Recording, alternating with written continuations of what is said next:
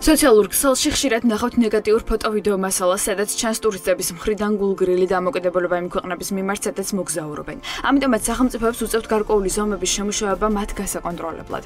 ასე მოიხსნენ ისლანდიაში, სადაც 2000 წლიდან მოყოლებული ქვეყანაში საერთაშორისო ტურიზმი თითქმის სამჯერ გაიზარდა და შეიქმნა რიგი პრობლემები.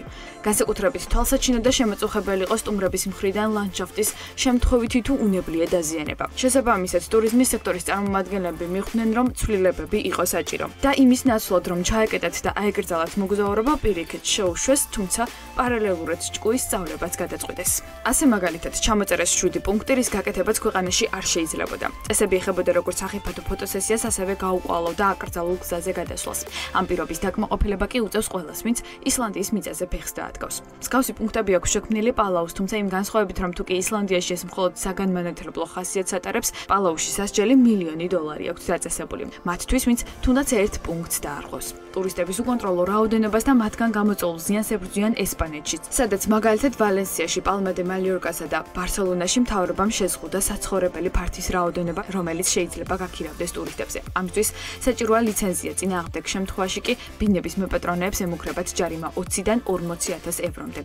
ბალეარის კუნძულების ადგილობრივმა ხელისუფლებამ უკვე შეწყვიტა ასეთი ლიცენზიების გაცემა და აკრძალა დღიურად გასაქირავებელი საცხოვრებელი ფართის რეკლამა ონლაინ პლატფორმებზე. ამ აკრძალვის დარღვევა ისჯება ჯარიმით 400000 ევროს ოდენობით. თუმცა ეს იყო პანდემიამდე და სავარაუდოდ პოსტპანდემიურ ვითარებაში ქვეყანა უკვე სტრატეგიას შეცვლის.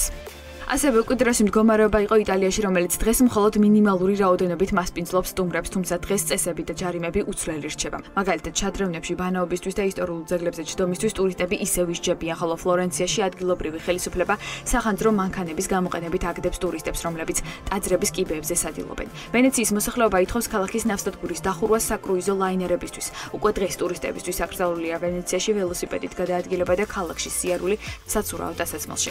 მსგავს პრობლემას ებრძოდა პანდემიამდე ფილიპინებისა და ხელისუფლების აზრით ტურისტებს მოძველებული ადგილობრივი ინფრასტრუქტურა ვერ უმკლავდება და პერიოდულად იგრძელება პოპულარულ კუნძულებზე ჩასვლა ტურისტებისთვის. მკაცრ წესებს იცავენ ასევე ხორვატიაში, ტაილანდში, ჰოლანდიაში და ჩამონათვალი კიდევ დიდია, თუმცა ახალ რეალობაში ეს ქვეყნები დროებით მაინც გადაწყობას და ყველა მსურველისთვის კარის გახსნას ცდილობენ იმისათვის, რომ სექტორმა დროულად დაიწყოს ამოქმედება.